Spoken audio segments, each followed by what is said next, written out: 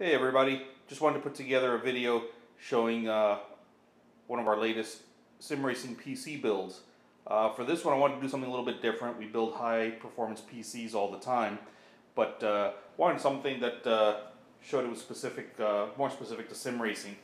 So I wanted to customize it a little bit and uh, came up with this idea of putting on a couple tachometers on the front and a engine start button.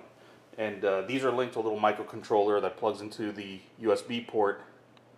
And there's a little piece of software running in Windows that drives them, uh, sending it the signal uh, to, to indicate processor load and uh, also processor frequency.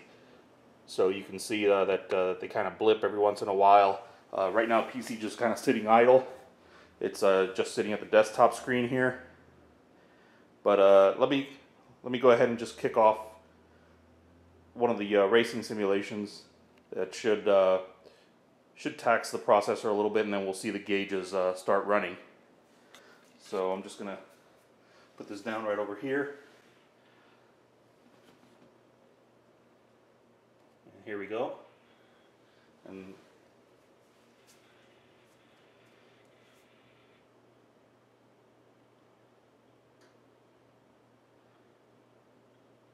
So uh, there it is. The, the game just started. Now uh, everything just kind of calmed down a little bit. And uh, let me just select some settings here.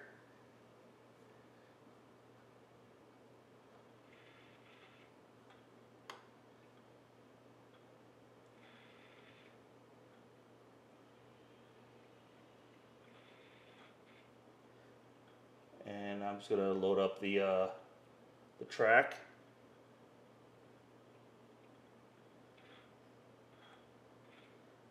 And there you go. There it is. All right. Thanks for watching.